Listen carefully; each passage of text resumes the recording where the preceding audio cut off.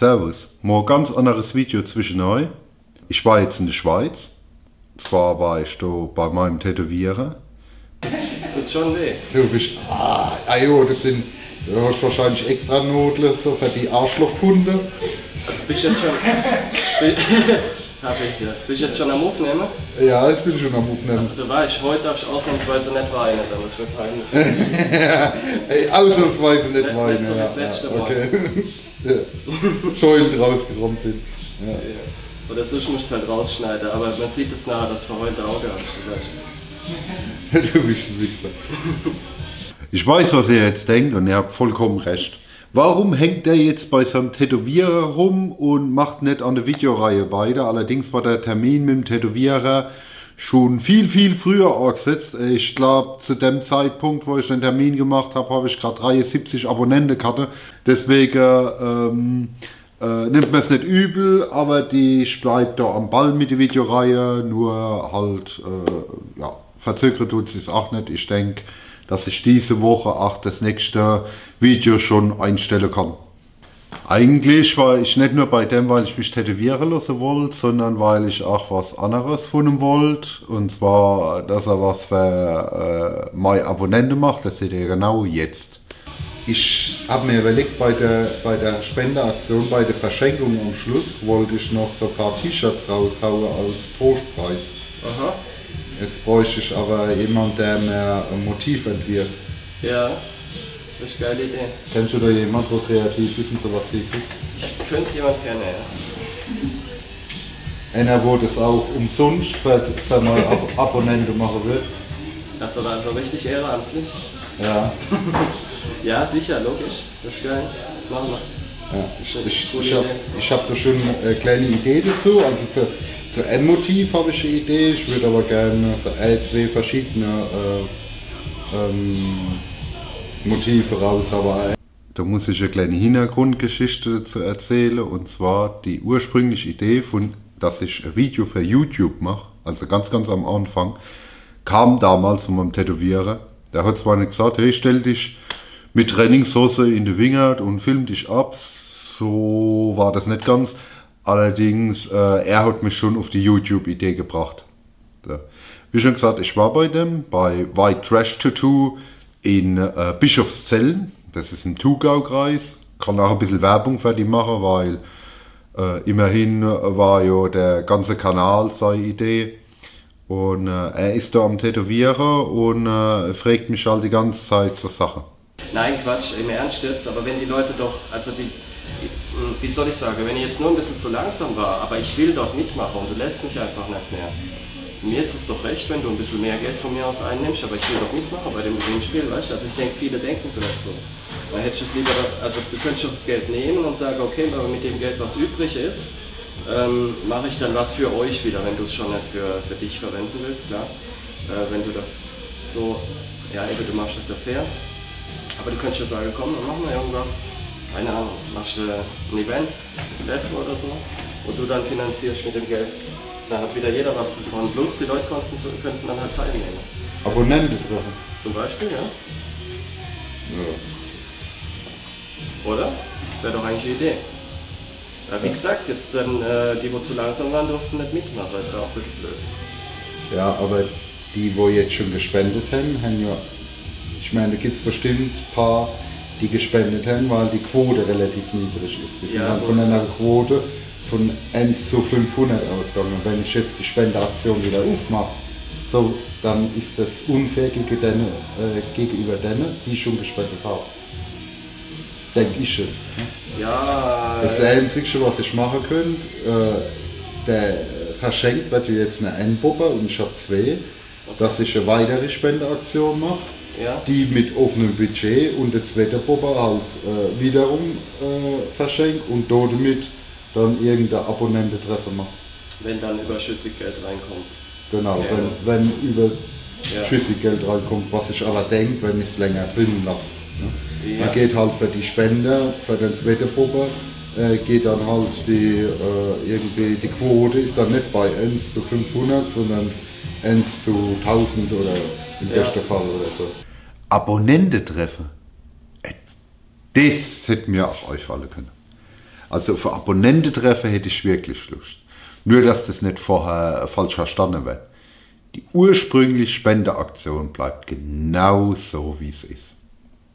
Also da gehe da geh ich auf keinen Fall dran. Äh, das machen wir genauso weiter, wie wir es die ganze Zeit geplant haben. Und äh, ich bin auch froh, dass es so gut funktioniert hat. Aber Abonnententreffen, da hätte ich wirklich Lust drauf. Dass wir uns alle zusammen treffen und ich sehe auch die ganze Umbaute, die durch die Videoreihe entstanden sind. Also das, das wird mich wirklich interessieren. Also die Idee, die ich, die, die will ich nur jetzt gerade mal wiederholen, dass wir äh, neue Spendereihe machen. Ich habe mir das auch bei der ganzen Heimfahrt richtig gut durchdacht. Und zwar, dass wir eine neue Spendereihe machen, ähm, je nachdem, wie gut sich die Spendereihe halt entwickelt. Ähm, wird dann der Bobber verschenkt, der äh, bei der Sache übrig bleibt, also von der ersten Spendeaktion.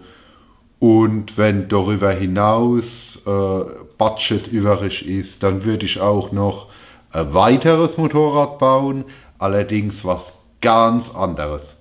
Jetzt muss ich mal ganz kurz die neuere Abonnenten abholen, wo gar nicht wissen, was gerade abläuft, warum Spendeaktion, warum kein Gewinnspiel und was auch immer.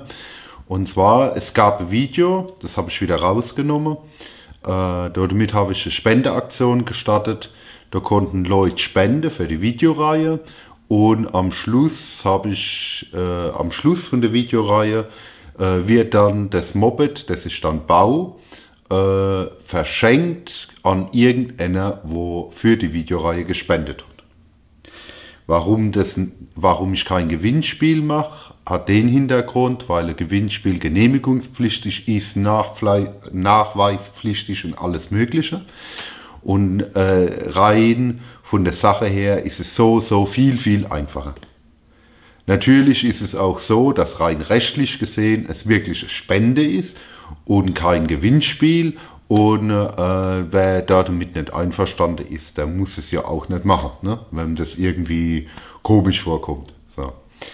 Also für eine neue Spendeaktion will ich jetzt auf jeden Fall, oder was er davon hält, was er von Abonnententreffer hält, äh, was er von äh, der neuen Spendeaktion hält, von dem ganzen Drum und Dran hätte ich gerne eure Ka äh, Kommentare. Es ist ganz einfach so, dass auch Abonnenten treffen, da, ähm, also ich würde es auch nicht so ganz einfach aufziehen, da ich jetzt sage, ah, wir treffen uns alle auf dem Aldi-Parkplatz oder so. Ähm, so möchte ich das dann auch nicht machen. Ich möchte es dann einigermaßen äh, wettersicher machen, dass man im Notfall, wenn es wirklich an dem Tag äh, irgendwann zwischendrin anfängt zu regnen, dass man da irgendwie unterkommen, dass wir äh, Verpflegung haben, dass wir genug Alkohol, dass wir genug zu trinken haben und ähm, dass man äh, gleich ein bisschen halt auch was machen kann. Ne? Dort äh, ein bisschen Party machen kann. So, so ist das, äh, so stelle ich mir das vor, richtig gemütlich. Und äh, da würde mich euer Kommentar auf alle Fälle dafür interessieren. So, ich bin jetzt müde wie die Sau und würde jetzt am liebsten das Video beenden. Allerdings äh, kann ich es noch nicht ganz beenden, weil ich habe so viel Material noch aufgenommen, das viel zu schade wäre, es nicht zu zeigen, dass ich das jetzt noch hinten drauf hänge. Ne? Also, äh, genau, das kommt jetzt noch. So, und zu guter Letzt kriegt man jetzt erklärt, wie GUI gemacht wird. Ich habe das unbedingt mit reingenommen, weil ich euch ja auch intellektuell weiterbilden will und äh, Kochrezept von einer Südamerikanerin äh, ist sicher interessant. Deswegen lasse ich euch mal erklären von einer Südamerikanerin auf Schweizerdeutsch, wie ihr GUI zubereiten müsst. Und weil ich eventuell mit Untertitel arbeite. Weil bei dir geht's, aber er spricht schon ganz grausam. Also GUI zum Erklären, das ist Meerschweinchen. Das ist ein Nationalgericht von Ecuador und Peru. Und wir uns eigentlich mit Kopf und Zähne du musst äh, durch einen Holzspieß stecken und übers Feuer bräteln. Also ihr, ihr steckt einen Holzspieß durch ein Meerschweinchen? Genau. Und äh, das Fell verbrennt es oder? oder äh, ich glaube, das, Das ist noch übrig von gestern. war, ein, war ein großes Meerschweinchen. Ja, ja, die werden ganz schön groß. So, jetzt muss ich die Handschuhe wechseln. Also, also ihr, ihr, ihr, ihr, ihr zieht das Meerschweinchen Fell ab, holt die Innereie raus. Das, das weiß ich nicht. Ich habe selber noch nicht so bereitet, kann meine Abuela hat das noch gemacht. Ja. Okay, also, die- aber das hast du schon öfters. ja. Wie schmeckt das? Ja, es ist so ähnlich wie Bulle und äh, Häsli. So eine Mischung zwischen denen. Zwischen, zwischen Bulle und Hase. Ja. Pulle. Pulle ist Hühnchen. Hühnchen. Ah, okay. ah, okay, okay, gut, gut, gut, alles klar. gut, alles klar, okay, ich werde es zu. Das ist best- bestimmt auch interessant. Ähm, und wo jetzt in der Schweiz kriegt man gut mehr Schweinchen her, um, um das mal auszuprobieren. Ich meine, du kannst ja nicht in die Tierhandlung fahren. Ah, Also, das, das dicke da hinten hätte ich gern. Sicher? Ja. Ha? Klar. Also rein theoretisch kann man da jetzt schon machen. Ob da der Tierschutzverband kommt oder nicht, da weiß ich halt nicht.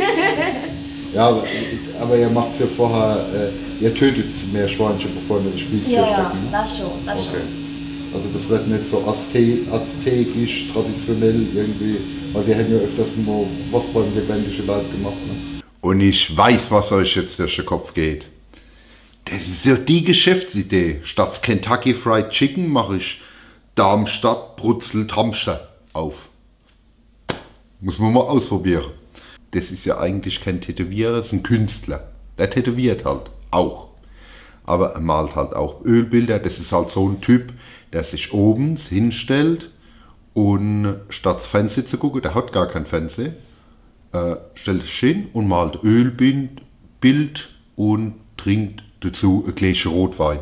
Also das, was wir in der Pfalz als Schluckimpfung bezeichnen, das trinkt, meint er, wäre ein Glas Rotwein. Egal. Aber ich bin jetzt wirklich ziemlich im Arsch und äh, damit verabschiede ich mich jetzt mit dem Video und äh, wollte euch nur noch mal daran erinnern, dass ihr unten in die Kommentare schreibt, was ihr jetzt von der äh, zweiten Spendeaktion äh, haltet, äh, weiteres unbekanntes Moped zu bauen, was ihr da davon haltet und äh, zum Abonnenten treffen, was ihr da davon haltet. Ne? Einfach in die Kommentare reinschreiben und dann sehen wir, was wir machen. Okay, und tschüss.